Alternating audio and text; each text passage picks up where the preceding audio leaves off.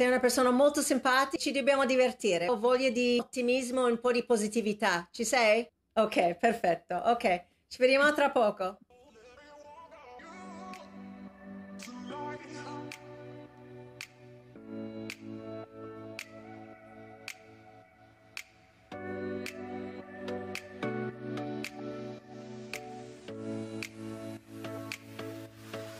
Allora, è un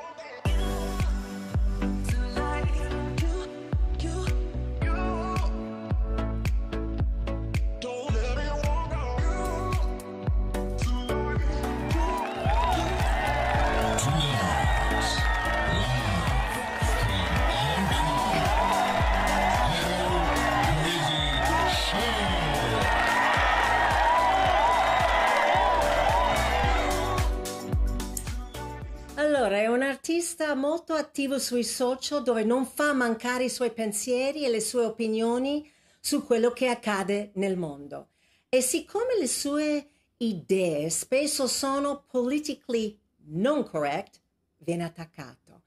Allora, ha detto, tutti siamo al mondo per dare un servizio. La differenza è che tanti lo fanno solo per soldi, molti come me per passione. Anche ora che faccio il cantautore, servo delle emozioni. Questa sera è con noi Giuseppe Povia. Ciao Ether, ciao. ciao. a tutti. Guarda Giuseppe, grazie per essere Heather Parisi Live qui da Hong Kong. Guarda, so thank you, thank you, grazie per essere venuto. E come stai? E dove ti trovi e, e a cosa stai lavorando?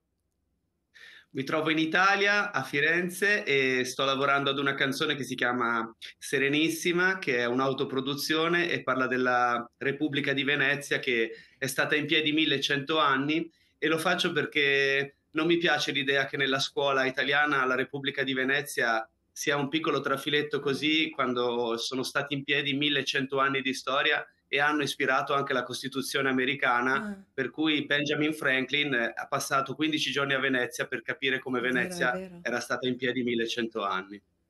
Sei milanese, vero? Sei? Sei milanese. Sono nato a Milano, però sì. sono pentito. Ti sei, ti sei pentito? sì, era una battuta. ok, però, però abiti, a, eh, tos- abiti, in Toscana, no? A Firenze. La Havala... Sì, sono di origini sono un po' di origini toscane, un po' anche di origini Brindisi, napoletane. Giù, anche Brindisi, vero napoletano? Eh, Bari. Oh, Bari, ok. La Havala di... Comunque tu sei sempre bellissima, mamma mia come sei bella. Grazie, grazie, volevo farti, volevo dirti qualcosa. Che eterna. Oh, thank you so much. Mua, ti mando un bacio enorme. Guarda, stavo per dirti un paio di frasi in toscana. Lo, vabbè, la, la Havala di Nicola la hohola con la hanuccia e cihale, cihale, cihale. Tu sai cosa vuol dire cicale in toscano? La, la conosco a memoria. Sì, eh, lo so, lo so. Allora... tu sei una bella cicala, infatti. Thank you so much. Allora, quanto ti pesa l'etichetta di essere uno che che genera sempre polemiche, che anche io sono nella stessa barca, dico una cosa e anche se mi sto difendendo o dico una mia verità e sono la solita polemica. Allora come, come, ti, ti, come ti trovi? Ti pesa? Allora, diciamo che l'ambiente dei mass media ha una linea unica, quindi se tu riesci a stare in quella linea senza andare da una parte e dall'altra, lavori sei ben stimato, sei... l'ambiente della musica soprattutto è ben disposto nei tuoi confronti. Mm. Quando invece attraverso la musica magari cerchi di cantare degli argomenti che dividono un pochettino, mm. allora o vieni messo da parte o vieni ridicolizzato. Sì, questa cosa mi pesa perché eh. invece vorrei essere accettato come un cantautore sociale che canta delle eh. cose che magari nessuno canta perché Infatti. si ha paura di non lavorare. poi sai bene che Dopo... eh, io non ho una verità, però certo. ho una visione del mondo che magari non viene raccontata. Certo. per questo me la passo economicamente male, ma moralmente molto bene. Eh, dopo, dopo, parleremo anche di questo. Tu ed io siamo l'esempio che si può essere diversi in alcuni temi importanti. Penso al tema dell'immigrazione e della famiglia, ma pensarla eh, allo stesso modo su altri temi importanti e penso alla vaccinazione contro la Covid-19 dovrebbe essere la normalità, invece si tende a, a generalizzare, in pratica si appiccicano un'etichetta e poi sei legato a quell'etichetta a vita. Cosa, cosa pensi? Cosa ne pensi di questo? Beh, sull'immigrazione ho scritto una canzone che ho pubblicato qualche anno fa che si chiama Immigrazia, un gioco di parole come Mm? dare il potere appunto al business dell'immigrazione. Sono stato insultato da tutta questa sinistra democratica per bene, ma Mm. in realtà stavo cantando un pensiero di Karl Marx che scrisse nel 1870. Quando l'ho detto sono spariti tutti. Mentre invece sulla vaccinazione, io non, non essendo un medico devo fare Ah, sempre una premessa. Sono un cantautore, sì. mi informo, mi Mhm, piace ascoltare magari delle cose che nel mondo non mi piacciono e quindi mi mhm, piace descriverle in musica, cerco di metterle in canzone. Poi, se qualcuno mi fa una domanda da giusto osservatore eh. cittadino, soprattutto parlando della mia pelle, non posso eh, sottrarmi, quindi rispondo alla Certo. domanda. E in questo caso non è che me l'hai fatta solo tu, me la Eh, fanno tutti quando vado in televisione. eh. Uno, ho paura di questa vaccinazione e mhm, quindi non l'ho fatto. Due, perché vedo che si fanno tantissime dosi e quindi non mi sembra un vaccino come tutti gli altri, anzi mhm, credo che non lo sia, oramai molti medici lo dicono. mhm, E tre, perché secondo me i media e i governi hanno fatto in modo che tutti i cittadini fossero tutti contro tutti e questa mm, cosa qui non dà fiducia alle, alle persone. Ecco perché c'è ancora uno zoccolo duro di, di- di cittadini che, che si rifiutano, ma guarda che si rifiutano anche quelli che magari hanno, devono fare la quarta dose o la Eh, terza so, dose e vengono considerati dei non eh, lo vaccinati perché so, oramai non, lo non so. stanno più. Guarda, molti ci accusano di essere free vax per convenienza e per cercare visibilità, ma non sanno che essere free vax eh, ha chiuso molte porte piuttosto che aprirle. Ti ha dato più vantaggi o più svantaggi essere free vax? Io non sono neanche free vax, in realtà io no sono un no covid vax, Ah, no, no, no covid vax ah no, COVID vax. Oh, ok. questa è una roba che non, non mi fa paura. Ho avuto due esperienze di due amici, uno dopo una settimana dalla seconda dose di Moderna giocava a pallone insieme a me ed è morto, e l'altro invece è paralizzato alla gamba dopo due dosi di Moderna. E quindi da quel momento mi sono spaventato. Poi vedo delle cose che non mi arrivano chiare, io sono anche ipocondriaco e Ah, quindi me la passo un po' così. Mm, è vero, eh, la vita è difficile perché mm, se non ti allinei, però, eh, mm, cioè, nel senso, il mondo è bello perché è vario, la libertà di scelta nella Costituzione e il governo, soprattutto in Italia, facendo un decreto dove sospende i lavoratori, che non mm, succedeva neanche ai tempi del nazismo, perché no, almeno gli ebrei lavoravano, eh, quando fai un decreto così, tu praticamente violi tre articoli del codice penale, i 610, 612 e 629, che sono minaccia, estorsione e violenza privata. Quindi la Corte Costituzionale che non fa il suo lavoro non è una Corte Costituzionale seria. Guarda, wow, ok. Io sostengo che tutto quanto è successo ha trasformato la società mondiale e eh, a proposito di ipocondriaci, di un bunch of hypochondriacs. Negli Stati Uniti è così già da un bel po'. Non so se tu sai che gli americani sono fissati con le medicine, ne prendono una per curare un malessere e poi un'altra per curare i side effects di quella eh, che, che hanno preso per il malessere e poi un'altra ancora per curare i side effects di quella che cura i side effects di quella che cura. Cioè, non finisce, non, non- non finiscono mai gli americani. Io da quando ero piccola mi ricordo eh, che, che- che mia- mia- mia- le mie zie, eh, mia madre, eh, guarda, prendevano una, una medicinale e poi prendevano un'altra, eh, prendevano un'altra, e era, era- era un continuo. Allora, tu sei un po' ipocondriaco, eh, perché se tu sei ipocondriaco, eh, non mi sembra così perché la, la- la tua scelta di non vaccinarti sembra il contrario. Perché no? Ho paura, quindi non lo faccio e credo che non lo farò mai. Poi l'ho preso il Covid e sono riuscito a guarire. Siamo Sì, centinaia di milioni nel mondo che siamo guariti senza il vaccino, quindi il vaccino non è l'unica via. Questo è un dato di fatto, non sì, possiamo eh, andare contro questa cosa qua. Poi è una cosa mondiale. Eh, di, diciamo che credo che sia più o meno in tutte le parti del mondo che mm. le persone più vanno avanti e più prendono i farmaci eh. e poi i farmaci per curare gli effetti avversi eh. dell'altro farmaco eh. e è così, è eh. così ti indebolisci e muori. In effetti sì, hai ragione. Però tu sai una cosa, quando io vado, andavo, sono due anni ormai che non andiamo negli Stati Uniti, e senza parlare male, però magari ero a casa di mia sorella, o a casa di mia zia, o a casa di mia madre nel Honolulu, Hawaii e magari uno di noi aveva un po' di mal di testa, oppure magari jet lag, fuso orario, eravamo po', un po rimbambite del viaggio, un, un, leggero mal di testa, loro sono estasiati. Oh, per- I have the perfect thing for you, la cosa perfetta per te. E vanno e ti portano 10 medicinali e sono felicissimi di farti avere questi medicinali e di farti prendere questi medicinali.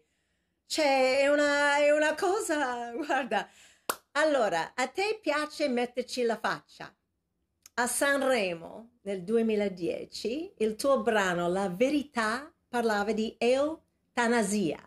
L'anno prima il tuo brano Luca era gay, sempre a Sanremo, aveva fatto molto parlare se ci pensi bene, i cantautori dovrebbero essere proprio questo. Come tu hai detto prima, dovrebbero essere grilli parlanti, svegliare le coscienze, eh, mettere dubbi, scalfire eh, le certezze e, e, invece sono scomparsi. Cosa è successo? Dove, dove, sono spariti? A parte tu che stai parlando così da cantautore e vuoi trasmettere quelle che tu pensi e quelle che è la tua verità, dove sono gli altri?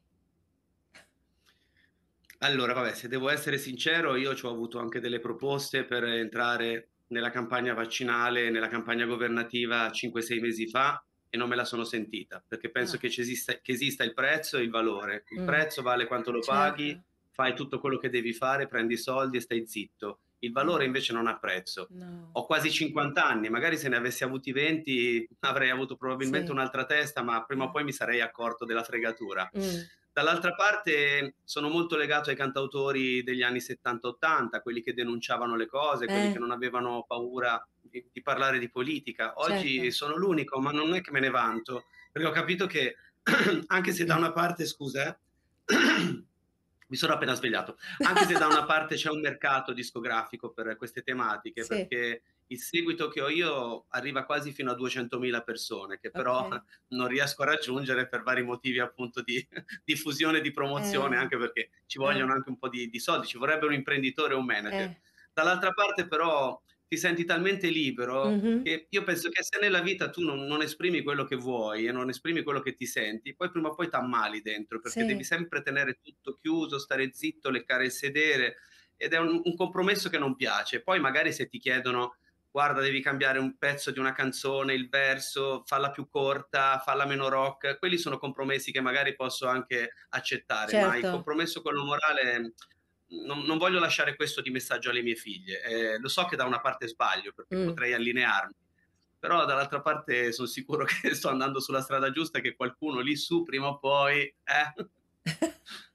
Guarda, per me l'arte nasce dalla sofferenza e dal bisogno di fare uscire quella sofferenza, perché per me è stato così, volevo fuggire da casa e la danza mi dava libertà. In effetti è vero, perché poi tu quando salivi sul palcoscenico eri un'altra Ether Parisi.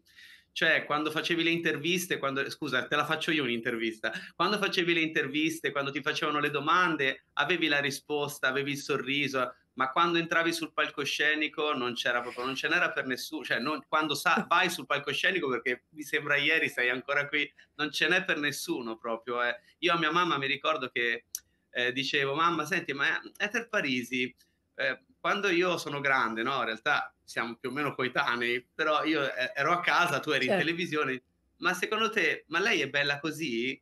Mia mamma, perché? perché io me la voglio sposare. Volevi sposarmi? Che carino! Quanti anni avevi? Dieci anni? Cinque anni? Oh, no, no, io credo che sono più grande di te io. No, io sono più grande, tu sei più grande di me, io sono del 60. Madonna, Madonna. No, davo per scontato che io fossi più grande di te. No, sono arrivata in Italia nel 79, avevo 19 anni. E quando mi vedevi in televisione avevo 19 anni. Eh, Disco ah, bambina, Cicale 21. No, non hai fatto una gaffa, mi ha fatto un complimento, però io sono I'm, I'm older than you, io sono più grande di te. Eh, invece vedi, io pensavo il contrario, basta, punto. Senti, hai raggiunto il successo nel 2006 con la vittoria a Sanremo, vorrei avere il becco. L'anno prima c'era stato I bambini fanno O.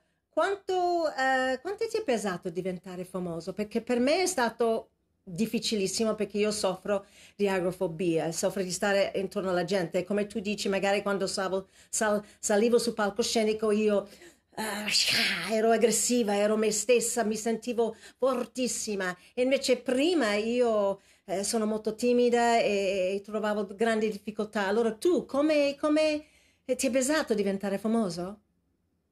No. No? no, no. Bello no, questo, anzi... mi piace. mi no, piace. no, me piace stare in mezzo alla gente. Che Io quando sto sul bello. palcoscenico, per esempio, eh, coinvolgo la gente, la guardo in faccia, vedo se una persona mi sta ascoltando, se qualcuno è attento, se qualcuno arriva con un pregiudizio. Mi piace molto Ah, guardare quello che, che la gente vede sul palcoscenico perché mi certo, accorgo da lì se posso migliorare anche in corsa. E poi mi piace stare in mezzo alla gente, io abbraccio, bacio da certo. E, sempre. e cosa Infatti i più grandi, Com'è più eh, grande? i più grandi manager mi dicevano l'artista deve tenere il pubblico a due metri di Certo. distanza perché sennò non è più artista. Ma secondo me avevano anche ragione, solo che non ce la facevo, anche oggi non ce la faccio. E cosa rappresenta per te un concerto?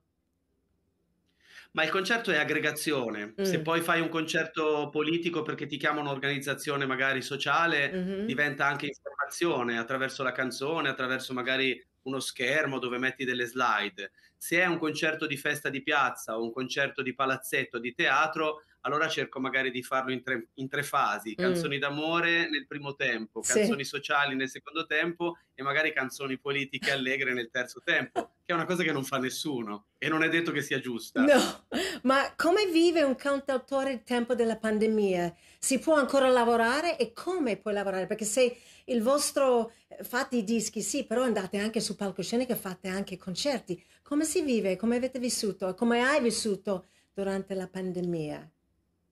Non io è... devo ringraziare intanto tutte le persone che mi hanno chiamato a fare le manifestazioni. È Ah, vero che ci ecco. andavo a rimborso spese, però qualche disco magari me lo sono venduto più che altro per cercare di campare. Infatti, Mm, grazie anche a delle interviste su, su portali, su piattaforme importanti come la tua, qualche mail arriva, si parla di sì, numeri veramente piccoli, però posso magari arrivare a- alla fine del mese, posso cambiarmi le gomme della macchina, la mia 500. Eh, però devo dire che avevo due, due possibilità, o mi deprimevo oppure Ah, facevo qualcosa. E nel primo certo. lockdown mi è venuto in mente di fare questo disco in cantina che ho chiamato Imperfect, imperfetto, perché in Ok. cantina può venire solo che imperfetto, però è molto apprezzato. Le, le persone me lo, me lo ordinano, Mhm, non sono i numeri delle case discografiche che danno tanta promozione, tanta mm. visibilità, però posso, posso riuscire ad arrivare alla fine del mese, questo sì. Guarda, io ho deciso di, di aprire un canale tutto mio perché voglio essere positivo, perché voglio essere libera di dire e fare quello che voglio senza dover rendere conto a nessuno. E tu hai deciso di autoprodurti. L'hai fatto anche tu per la stessa ragione? Sì, perché autoproduzione significa che puoi scrivere, arrangiare, aprire un progetto e chiuderlo quando vuoi, se Mhm. non ti convince qualcosa alle 4 di notte lo riapri, Eh, lo pubblichi quando vuoi, decidi di rimandare la pubblicazione, cioè sei libero e sì, poi posso cantare canzoni come Dito Medio, non, non lo sto facendo a te, è una canzone che si chiama Dito Medio, cioè posso cantare canzoni come Tutto cambierà che parla del disastro del meccanismo europeo di stabilità, però sì. detto molto ironico, molto Certo, allegro, molto certo. fresco. Eh, posso cantare canzoni come Immigrazia o posso cantare anche canzoni leggere come Cameriere, che è stato il mio lavoro per vent'anni che tu hai citato in apertura della trasmissione. Cioè, o servi qualcuno perché sei appassionato e aiuti le persone. Nel caso del cameriere cercavo di consigliare dei piatti, dei Eh, vini per far star bene la gente. Nel caso del certo. cantautore cerco di consigliare delle emozioni. Oppure vivi la vita soltanto guadagnando soldi e che ti fa schifo anche il lavoro che fai. Ecco, magari io scelgo la prima. Eh, Sono, sono d'accordo con te. Guarda, hai inventato un termine, termine che, che mi, mi ha divertito molto, SOS, che sta per sostenere. La gente fatica a capire che dietro a quello che, che fa un artista c'è un grande lavoro che dovrebbe essere riconosciuto da, da chi lo apprezza. Autoprodursi a costi importanti. Cosa intendi per SOS e, e come funziona? Beh, SOS significa una richiesta di aiuto. Red Ronnie fece una canzone che si, fece una trasmissione che si chiamava Help. Alla fine la musica non è riconosciuta un lavoro, soprattutto in Italia, quando tu dici che canti, le persone comunque sì, oggi ti può andare bene, però Eh. magari domani non ti va bene, perché la musica è un ciclo e non dura per sempre. Sta a noi cercare di avere dei contenuti, nel mio Ah. caso, per cercare di incuriosire le persone Sì. e far capire che invece io sono una persona che si impegna molto, soprattutto sul prossimo brano che pubblicherò il 25 aprile, Ah. che in Italia sì, è la festa della liberazione, ma è anche la festa di San Marco e della Repubblica di Venezia. Ah, Ed è un lavoro di cinque anni, quindi certo. quando tu Wow. parli di SOS, si- sostieni la musica Ah. libera, eh, io chiedo per esempio una donazione per questa canzone serenissima, invece di comprarla a 0,99 centesimi, se ti piace fai una donazione, se non Bravo. ti piace te la regalerò, ma io Certo. mi affido proprio al buon cuore della gente. Cosa bisogna fare per comprare i tuoi dischi? Per comprare questo nuovo disco di cui mi hai parlato adesso? È semplicissimo, la musica si scarica in ogni modo, però Mhm. se avete piacere di sostenere un cantautore libero che ancora canta degli argomenti che nessuno canta perché si ha sempre paura di non lavorare, Sì. potete scrivere a Giuseppe Povia, che sono io, at, cioè chiocciola, vodafone.it e vi rispondo personalmente. Ok, perfetto. Io sarò la prima. A te te lo regalo. Guarda, nell'album Imperfetto mostri nostalgia per gli anni 70-80, ma tu in quei anni eri un bambino piccolo piccolo, Co- cosa ricordi con nostalgia di quei anni? Perché io negli anni 80 avevo 20 anni, well, 1980 avevo 20 anni, ma tu eri, eri piccina, ma cosa ti mancava? Cosa- che nostalgia hai de- degli anni 70? La nonna, la mamma, stare davanti al televisore, non lo so, cosa, cosa ti mancava?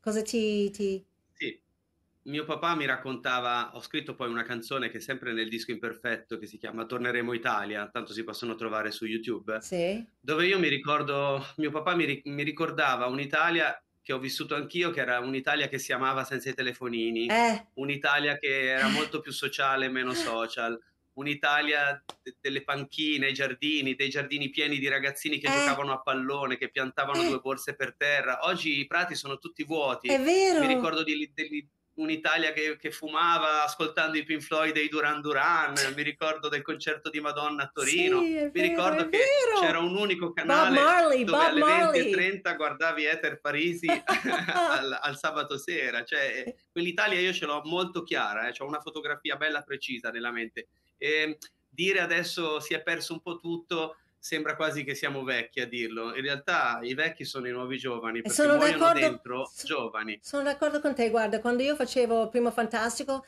facevamo 27 perché Portobello con Tortora faceva 29 milioni e noi 27 milioni di telespettatori perché come hai detto tu non c'erano i telefonini, eh, non c'erano i social, non c'era internet, c'era i ragazzi quando, almeno quando ero giovane io e i giovani che erano lì a guardare me eravamo sempre fuori all'aperto, non eravamo mai chiusi in casa o fare quei giochini, cioè era totalmente un'altra vita.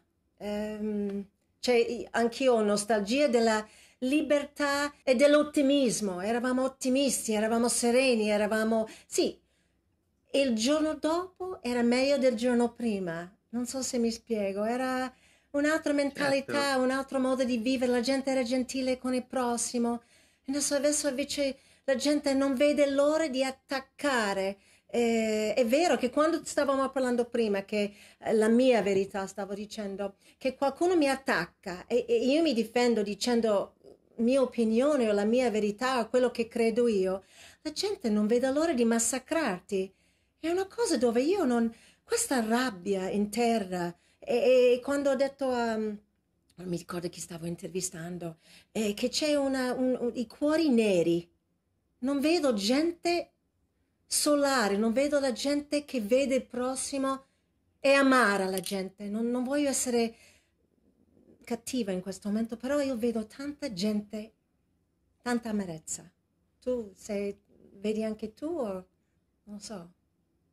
Sì, sì, no, vedo tantissimo egoismo in giro, vedo tanta schizofrenia. Secondo me questo qua è il Sì. termine giusto, la schizofrenia di fare sempre tante cose, Sì. la schizofrenia di stare sul telefonino e condividere, la schizofrenia di farsi una foto, di farsene 10 e scegliere la migliore, Sì. la schizofrenia di, di uscire poi la sera, la schizofrenia dell'alcol, la schizofrenia della Sì. droga, cioè è tutto all'ennesima potenza e quando poi tu hai detto che vieni attaccata, comunque veniamo attaccati perché sì. abbiamo delle idee diverse o mettiamo eh. magari, non abbiamo idee diverse, abbiamo qualche idea magari da mettere in più nel calderone del tritacarne certo. mediatico, io penso questa cosa qua, che chi ha le idee viene criticato da chi non ce le ha. Ecco. Cioè, però anche Giuseppe, anche chi ha dubbi, oggi come oggi non puoi avere un dubbio, devi seguire quelle che dicono loro con i parocchi, esattamente quelle che vogliono loro. Vabbè. Ecco, infatti anche questa cosa qua, se io tornassi indietro, no? Sì. sai quanti ti, ti, dicono, ma se tu tornassi indietro e tutti si fanno belli con la solita risposta, rifarei tutto. Ma che cazzo stai dicendo? Ma c'hai sì. una vita nuova a disposizione, eh. rifaresti proprio tutti gli errori che hai fatto? Sì. Ma non esiste al mondo, cioè io cambierei tantissime cose.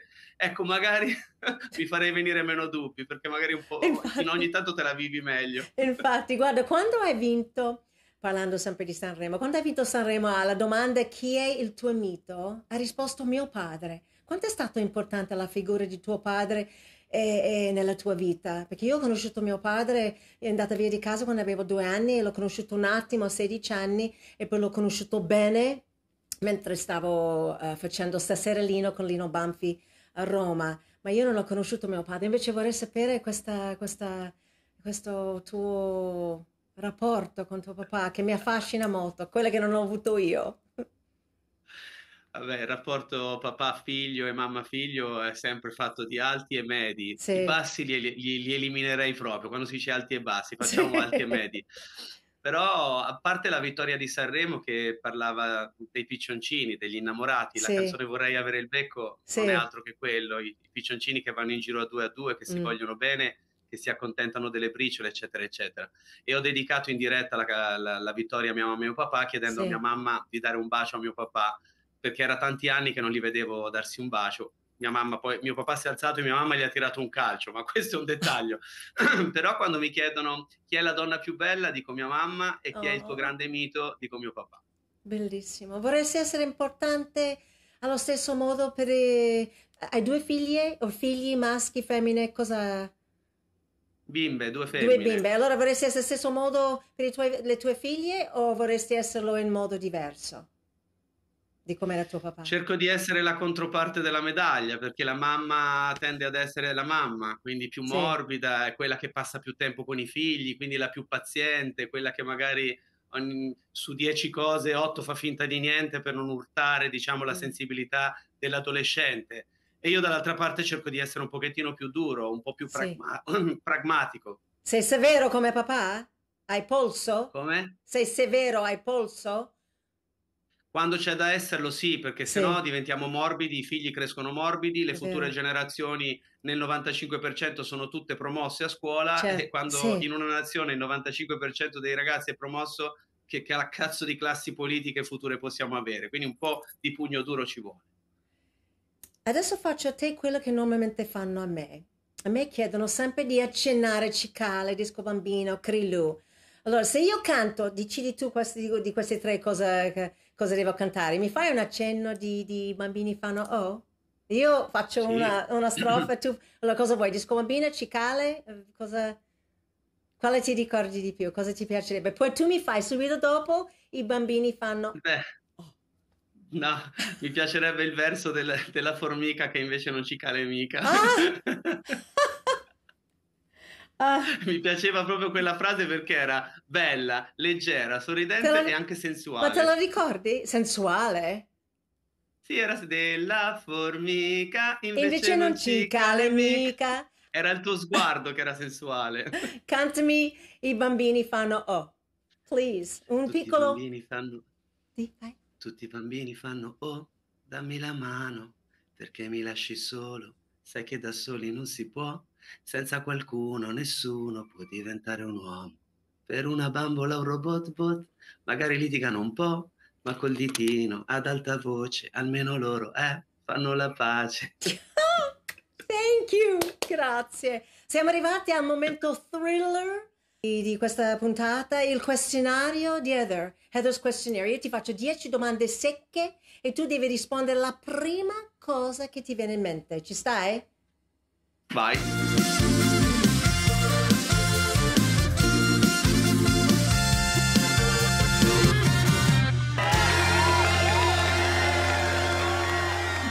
Ok, la spontaneità è fondamentale, ok? Allora, quale Vai. consideri la virtù più sovrastimata? Eh, vedi che ti sento male, Ether. Non mi senti? No, ti sento male, forse è alto il volume del tuo microfono e arriva un po' distorto. Che Se la, devo rispondere abbasso- veloce, devo abbasso- capirla adesso mi- subito. Ok, adesso dalla regia mi abbasso il microfono, adesso mi senti meglio? Prova? Mi senti? Ah, ah. Mi senti? Ok, non Vai. era una scusa per farmi ripetere due volte la stessa domanda, per pensare Non l'ho sentita, no? questa Non l'ho domanda, sentita. ogni persona che ha fatto questa domanda non sapevano come rispondere, mi fanno, oh my god, this- this- è quanto difficile. Quale consideri? No, non l'ho sentita. Ok, quale consideri la virtù più sovrastimata? L'ignoranza, no? Anche una virtù quella. Ok, mi piace, ok. Eh?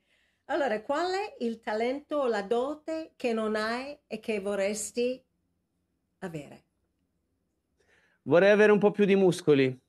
Muscoli? Nel senso più Sì, perché, fisico, sì, più perché il muscolo, sì, il muscolo rafforza le ossa e le ossa magari quando diventi vecchio si rompono meno. Ma perché tu Scusa, sei eh, vecchio, non, non sei vecchio, cioè ti prego. No, però sai, siamo, siamo- io sto entrando comunque nei, nei dai 50 in su, però no, sono ancora figo. Vorrei avere solo più Sei muscoli. molto figo. Allora, se potessi cambiare una cosa di te, a questo punto cosa cambieresti? Me l'hai già risposto. Cosa cambieresti? Sì, sì, Muscoli? ma mm, Ma in come... questo momento niente, No. niente perché ci sono tut- tutte le cose che posso fare, le posso, cioè posso andare a correre, posso andare in Certo. palestra, è la testa che potrei cambiare un po'. Ok, quale consideri il tuo più grande successo nella vita, nella tua vita? Due bimbe, Ok, quale qualità apprezzi di più in una donna? quale età? Quale qualità? Quale età qualità? cioè anni? No, quale qualità apprezzi di più Ah, una? ecco, Eh, io sono molto, molto esigente, quindi la qualità è sempre mentale, cioè cerebrale. Poi è Certo. ovvio che se c'è un bel fisico, eh, quello non guasta. E quale qualità eh, apprezzi di più in- in un uomo? Mm, la spontaneità. Ok, quali parole o frasi usi troppo spesso? Praticamente è un avverbio. Praticamente. Chi è il tuo eroe? Meno male, noi siamo, que- noi siamo Sì. quelli praticamente, gli altri sono teoricamente. Sì. Qual è il tuo eroe nella finzione? Nella finzione, ma l'uomo ragno, Ah, e chi sono... Spider-Man. Spider-Man, ok. E chi sono i tuoi eroi nella, nella vita vera? Eh, l'ho detto, mio papà e mia mamma. Ok. E l'ultima domanda, qual è la tua idea di perfetta felicità? Di perfetta felicità? Ah, Mm. mm.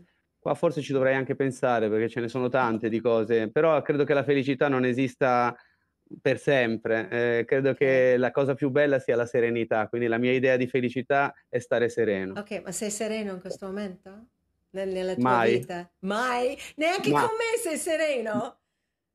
No, con te sì, Possiamo adesso, certo. Anzi, questo è uno dei momenti più belli. Ok. Giuseppe, Però scusa, parliamoci dimmi. chiaro, ma chi è Dimmi. sereno? Ma dai, ma non esiste. Eh, questo è vero, guarda, sereno, sereno in questo momento che ci stanno facendo vivere eh, in un modo strano, posso dire. Io posso dire che sono serena perché ho a fianco una persona, Umberto Maria, mio marito, lo dico sempre, ma è la verità, che, che devo ammettere che quando vado a letto la sera sorrido e, e chiudo gli occhi e sorrido e quando mi alzo la mattina sorrido e mi dà una grande serenità. Io prima ero molto più insicura, eh, non ho avuto una bella infanzia, i primi anni, eh, quando sono diventata famosa, ho avuto un po' di problemi. E invece da quando sono a eh, 16 anni, quasi 17 anni con Umberto Maria, mi ha dato il modo di vedere la vita con più positività, ma anche quando c'è tutto nero davanti, non so se per te è così, quando è tutto negativo, lui riesce Sì. a vedere il- la positività. Lui lo guardo e dico, ma how is it possible? Com'è possibile che tu sempre eh, dici la cosa giusta, mi fai star meglio? Non, non- non lo so, capisci quello che, che- che- che voglio dire? Eh, Sì, sì, sì, le persone come Umberto sono quelle che poi contribuiscono a portare avanti il mondo con il Eh. bicchiere mezzo pieno. eh, E poi mio nonno diceva sempre, quando una persona va a letto che nel, dentro il letto si sente bene, allora vuol dire che quella persona è più, è più serena che, Eh, che non. Mi ad una domanda, Sì, ma certo. cosa ci fai ad Hong Kong tu? Mio marito mi ha detto eh, 12 anni fa, 13 anni fa, noi andiamo a vivere all'estero e ho pensato di andare a Hong Kong perché aveva dei lavori là, lavora molto spesso in Cina e allora siamo venuti a Hong Kong e sono, sono 12 anni e mezzo che, che siamo qua, ma io già da 16 anni che, che- che vengo qua, è una città eh, diversa adesso, ma quando siamo mm, venuti 16 anni fa, per i prossimi, non so, 9-10 anni era una città meravigliosa, invece con i problemi dell'umbrella umbre- e con eh, Covid eh, le cose si sono cambiate. Comunque puoi parlare, puoi, puoi dire le cose che vuoi, non, non è vero che c'è dittatura, queste cose qua. Non devi, non devi dire una parola contro la Cina. Sul resto puoi dire quello che vuoi, ma non devi Ah, ok. dire A sulla Cina e sul presidente Xi. Niente. Viva la Cina! viva, Viva la, la Cina, Cina. viva la Cina! Io avevo fatto una canzone carina che Ah, faceva sì? così. Viva la Cina, viva la Cina, viva la Cina, viva la Cina. Cina, Cina, Cina, Cina, Cina, Cina, Cina. Ridi, ridi, ridi, ridi, ridi in faccia a me. Occhio che il cinese si compra pure a te. Ma non l'ho pubblicata ancora. Dai che facciamo concerti in Cina. Facciamo concerto sociale e ballo. Eh, ti- Cioè io- tu balli sulle canzoni mie. L'italiano va molto di moda in Cina, lo sai? Molto Lo di so, moda. La musica, la musica italiana piace moltissimo, eh, piace la musica italiana ovunque, però Potremmo scegliere delle canzoni famose e, e fare veramente una È cosa. Ma una una prova, cosa dai, un- assieme, una- un esperimento. Dai. Eh, Sì, insieme, certo. eh, e però devo sentirti cantare la parte tua preferita di Cicale. Non sarebbe male. eh? Facciamo quella, facciamo anche Penso che un sogno così non ritorni mai più. Ma che bello, La facciamo con che danza e, e bello. voce. Sì, e io danzo. Torno a danzare assieme a te. Tutti dicono, ma perché non danzi più? Perché non balli più? E e adesso mi sono... Adesso vuoi di, di danzare assieme a te, va bene? Tu Sì, io non so ballare, però io faccio cagare, te lo dico non sai subito. ballare per niente? Zero. E ho fatto pure Ballando con le stelle, Ah pensa. sì, hai fatto ballando? 2010, ma proprio guarda, seconda puntata mi hanno eliminato. No, ma tuo partner era brava? Era un'australiana che mi insegnava assieme al suo fidanzato, ma mh, erano troppo arrivisti. Loro pensavano che io sapessi le mosse che loro pensavano, ma io non le sapevo, quindi Ah, ci facevo certo. più fatica, c'era tanta tensione. Ma non lo sentivi neanche di, di- di muoverti un po' perché puoi anche farlo, perché tu sei una persona molto ironica. Allora, ballando con Sì, sì, ironia, mi muovo, è mi muovo, che ma mi muovo come Giorgio Gaber, non mi muovo come te. Giorgio Gaber ballava, mi ricordo quel concerto che ho visto, lui ti ricordi quando faceva tutte queste cose? Le cose le so fare, ma sono inconcluse, non, Vabbè, non per- sono, diciamo, però- nelle- nel- Però nella tu sai danza. cos'hai che vende molto, che non tutti hanno. Hai questa faccia simpatica, questi capelli lunghi e allora sei un po' figo e hai un sorriso, hai gli occhi che sorridono e allora tu trasmetti, sei carismatico. Sì, ti alzo la gamba, casomai, però eh, sì, mettiamo i sottotitoli magari. No, a me no, Come no? mi Non è- spacco se la mi alzi la gamba. Fammi vedere un secondo. Riesci poco poco a fare, fare poco poco poco. Fammi vedere la gamba. Dov'è la gamba? Tu sei fuori. Fammi vedere. Fammi vedere. Dov'è? Su, te- quello è 90. Devi andare più su. No, Ether, non ce la puoi fare con me, guarda, mi sono già spaccato. Guarda, mi ha commosso anche quello che hai detto di tuo papà, di tua mamma e tuo nonno e, e sei una persona molto Grazie. bella. I am so happy, sono così felice di averti intervistato, di aver fatto questa chiacchierata con te, sei di una simpatia unica, però mi devi dare un bacio, vuol dire che tu devi guardare me di qua, io devo guardare di qua, devi mandarmi un bacio. Riesci, devi guardare... No, no, ah, così, però guardami così, di, di, di, tu, e tu di là, guarda, così. Ah. Yeah. No, no, no, l'altra parte, l'altra Mm. parte, io sono di, di là. Vai, vai. Mua. Mua. Giuseppe, Giuseppe Povia, Sei sempre la grazie. stessa, sempre la stessa, sei Thank you. sempre con il sorriso. sì, bisogna sorridere nella vita. Uh, Heather, Heather Parisi live da Hong Kong, Giuseppe Povia, grazie di cuore.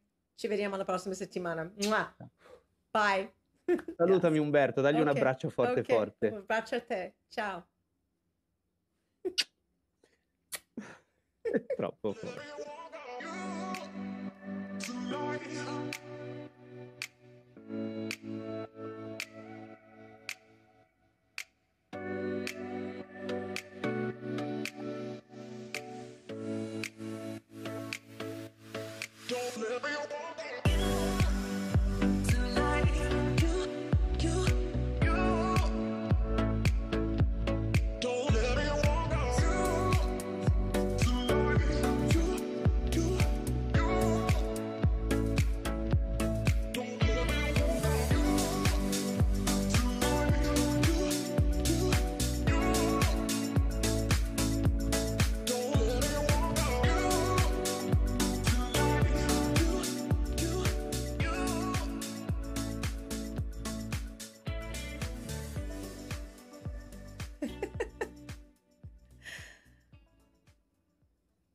Ci sei Giuseppe?